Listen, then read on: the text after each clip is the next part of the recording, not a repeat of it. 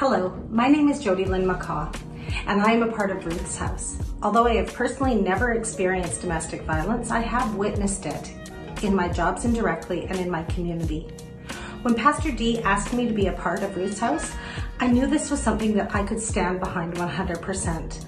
I have a voice and I'm using that voice to shed awareness on this not so talked about reality in many homes today. To stay silent is part of the problem. If you are experiencing domestic violence and you do not know where to turn, please reach out to ruthshouse.ca. There is somebody waiting to help you.